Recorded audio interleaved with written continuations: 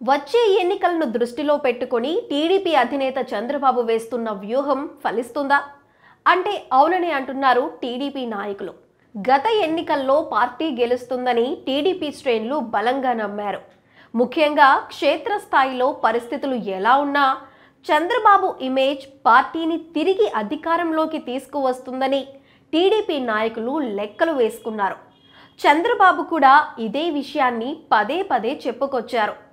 నన్ను చూసి ఓటెయ్యండి అని ఎన్నికల సమయంలో ప్రజలకు విజ్ఞప్తి చేశారు. అయినప్పటికీ గత ఎన్నికల్లో టీడీపీ పరాజయం పాలైంది. అయితే అప్పటి నుంచి కూడా పార్టీని బలోపేతం చేసేందుకు చంద్రబాబు కృషి చేస్తున్నారు. గత ఏడాది కరోనా కారణంగా పార్టీ అడుగులు ముందుకు పడలేదు. అయితే ఇటీవలి కాలంలో టీడీపీ అధినేత చంద్రబాబు నాయుడు పుంజుకున్నారు.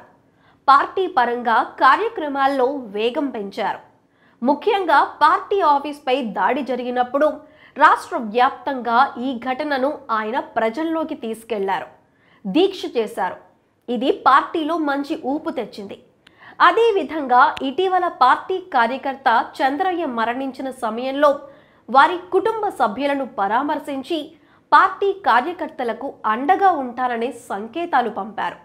ఇవన్నీ కూడా చంద్రబాబుకు ప్లస్లుగానే మారుతున్నాయని పార్టీ నేతల మధ్య చర్చ సాగుతోంది.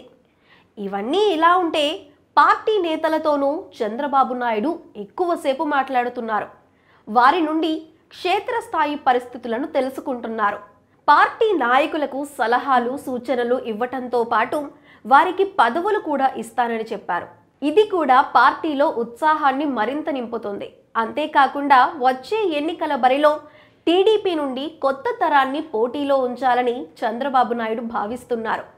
దీనికి తోడు టీడీపీ అధినేత చంద్రబాబు నాయుడు ఎంత కష్టమైనా నష్టమైనా కార్యకర్తలకు అండగా ఉంటున్నారనే సంకేతాలు అన్ని స్థాయిల్లోనూ కనిపిస్తూ ఉండటం క్షేత్రస్థాయిలో పెద్ద నేతల దూకుడుకు అడ్డుకట్ట వేస్తానని చెప్పడం పార్టీలో కష్టపడి పనిచేసే వారికి అవకాశం ఇస్తామని చెప్పటంతో పాటు వచ్చే ఎన్నికల్లో వారికే టికెట్లు ఇస్తామని చంద్రబాబు నాయుడు ప్రకటించడంతో పాటు అన్నీ తానే చూస్తానని హామీ ఇవ్వటం వంటి పరిణామాల నేపథ్యంలో టీడీపీలో జోష్ పెరిగిందని పార్టీ గ్రాఫ్ కూడా పుంజుకుందని టీడీపీ సీనియర్లు భావిస్తున్నారు.